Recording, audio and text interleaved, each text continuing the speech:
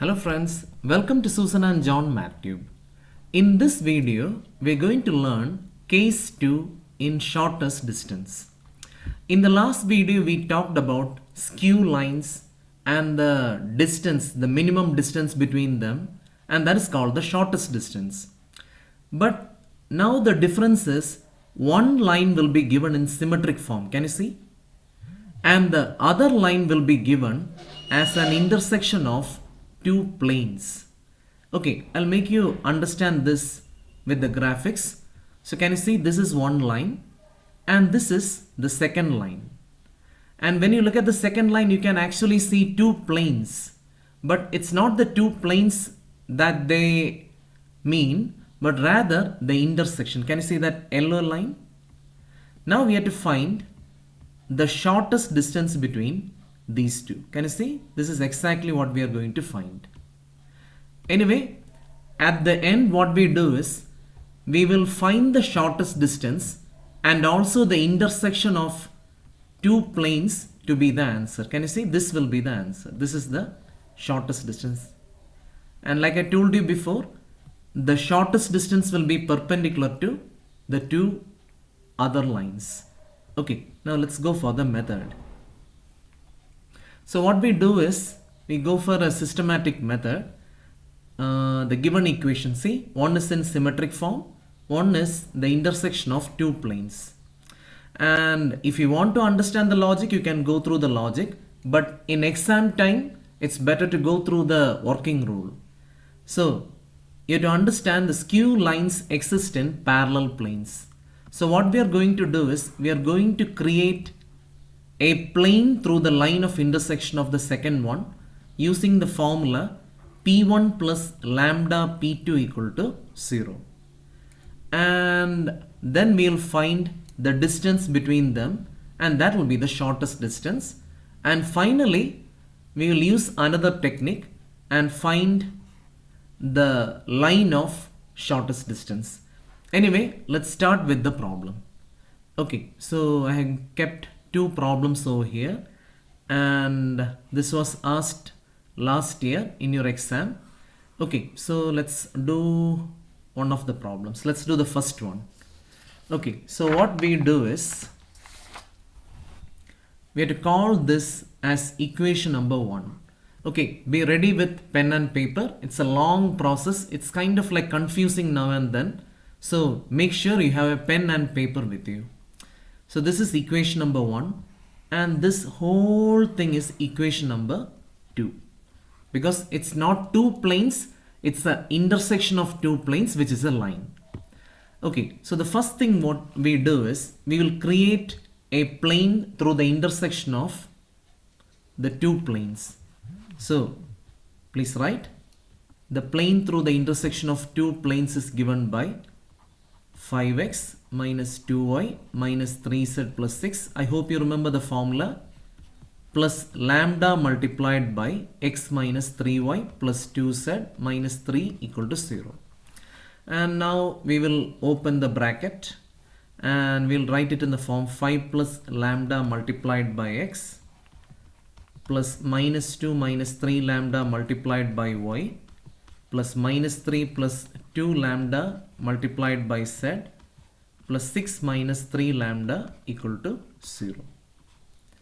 Okay, now what we are going to do is we are going to create this plane parallel to the other one. I'll show you that method. Can you see? So we are going to create a plane passing through the line, that line and make sure it is parallel to the other line. Okay, can you tell me what happens when a line and a plane are parallel? The normal direction will be perpendicular. So what we do is we go for the first line. Can you see the direction ratio 4, 3, 2 and we have the direction, the normal direction of the plane 5 plus lambda minus 2 minus 3 lambda minus 3 plus 2 lambda and we take the dot product equate it to 0 or we apply the formula a1 a2 so 4 into 5 plus lambda uh, plus 3 into minus 2 minus 3 lambda plus 2 multiplied by minus 3 plus 2 lambda equal to 0. Simplify, you'll get lambda equal to 8. Okay, let me make the first part very clear. One equation is given in symmetric form. Another equation is given as the intersection of two planes. So what we do is, we are going to create a new plane p1 plus lambda p2 equal to 0 and then we will find the direction ratio in terms of lambda.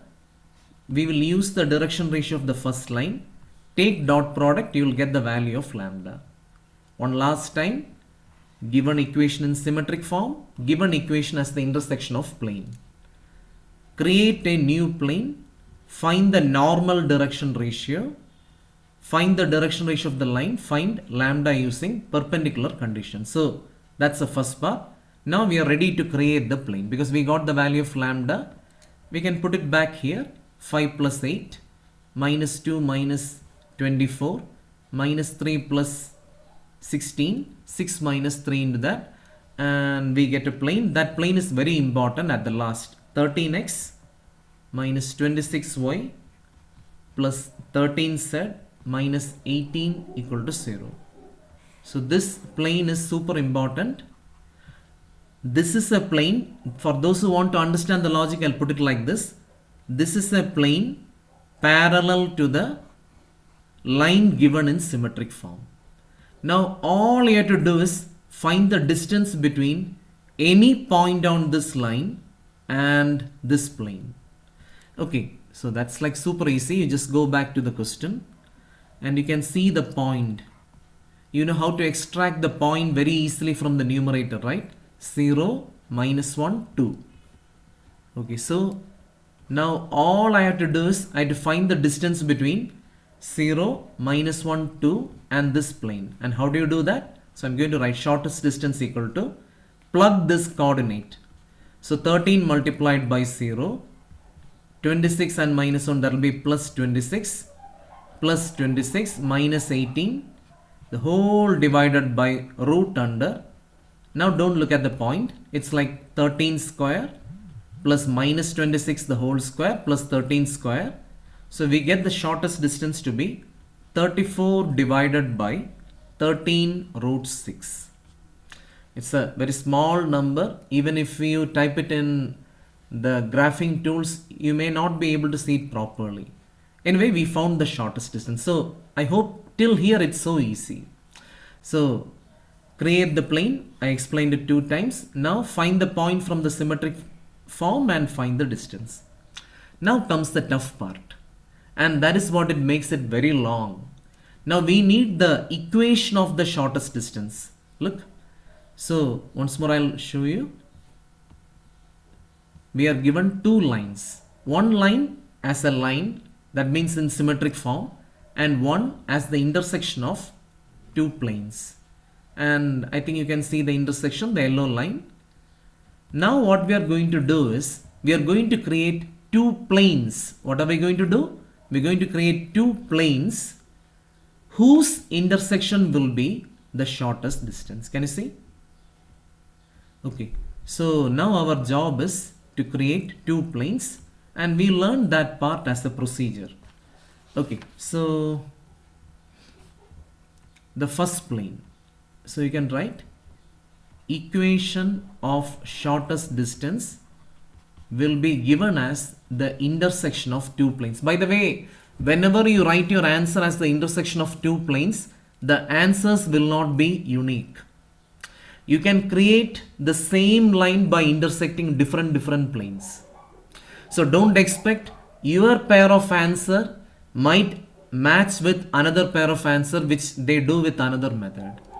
Okay, so the first one is like super easy. You take the numerator of the line in symmetric form. So I'll show you the line x y plus 1 z minus 2 then the denominator 4 3 2 and then the direction ratio of the newly created line. Can you see? The direction ratio of the newly created plane not line plane. It's 13 minus 26 13 and if you reduce it it will become 1 minus 2 1 if you want you can keep it like 13 minus 26 13 but the determinant will become large. So I'll keep it like 1 minus 2 1 if you, once more if you want you can keep it 13 minus 26 13 13 will come common and since it is equal to 0 that 13 will get cancelled. Anyway you expand this determinant. X multiplied by 3 plus 4 that will be 7 etc etc I got the answer as 7x minus 2y minus 11z plus 20 equal to 0. So we created plane 1. Once more, we are looking for the equation of shortest distance. And we are going to write the shortest distance as the intersection of two planes and calculation of the first plane is not too bad but it's a little bit long. Now we are going for the second plane. Okay, now for the second plane we again use the same equation. Can you see? This same equation we used here. But we will use another alphabet so that you don't get confused. So I'm going to copy that part. So look at this. For the second equation, I'll use the same stuff that you wrote early, but let me put mu. Um, just to make it look different and this will reduce to come on we already have that equation um, I'll do it once more 5 plus mu earlier we wrote lambda plus minus 2 minus 3 mu and plus minus 3 plus 2 mu. And the last one 6 minus 3 mu is equal to 0 so all we need to do is we define mu and that's it. That's the end. And for that we use this direction ratio 5 plus mu minus 2 minus 3 mu minus 3 plus 2 mu and take the dot product. Dot product means that a1 a2 plus b1 b2 plus c1 c2 condition. I told you this is going to be a superhero. And we take the direction ratio. Do you remember? We took the direction ratio for the determinant also. So I'll use the same direction ratio. Once more if you want you can keep it 13 minus 26 13 but I'm not going to do that because direction ratio means we can put it in the simplest form. So I'll put it as 1 minus 2, 1 is equal to 0. And that gives me 1 multiplied by 5 plus mu uh, minus 2 multiplied by minus 2 minus 3 mu plus 1 multiplied by minus 3 plus 2 mu is equal to 0. Anyway, I got the value mu is equal to minus 2 by 3 and I did rough work. You can plug this back here or here as you wish. And I got the equation to be 13x minus 13z plus 24 equal to 0 so I wanted to confirm this answer. So look at this. The shortest distance is given by the intersection of plane number 1 and plane number 2 okay now let's make the method more clear. But this time I'll give you hint and I want you to try it. And it will be nice if you can comment below the answers. So can you see? One equation is in symmetric form and the second equation is given as the intersection of planes. Now I'm not going to show you the graphics so you can understand that. So what will we do first? Okay, we are going to create a plane and what will be that plane? 2x minus 3y plus 27 plus lambda multiplied by 2y minus z plus 20 equal to 0. Those who want to understand the logic, understand like this. We are trying to create a plane parallel to this line so that the distance from any point on this line to this plane will be the shortest distance. Okay, so you can simplify and I got the value of lambda to be 3. Check it, double check it. Okay, so we got the plane to be 2x plus 3y minus 3z plus 87 equal to 0 and now what will we do yeah we will collect a coordinate from line 1 that is 3 8 3 and find the distance and the distance is 108 divided by come on comment below what is that I'm not writing the number over here you can comment below now uh, the distance is done. Now we need shortest distance. But remember, we are not going to write the shortest distance line, the equation like symmetric form. We are going to put it like this. So we need to construct two planes P1 and P2 and don't forget this is a superhero. So how do you do that? Construction of plane 1 is super easy. Determinant x minus 3, y minus 8, z minus 3 and the denominator 3 minus 1, 1 and 2, 3 minus 3 equal to 0 expanded.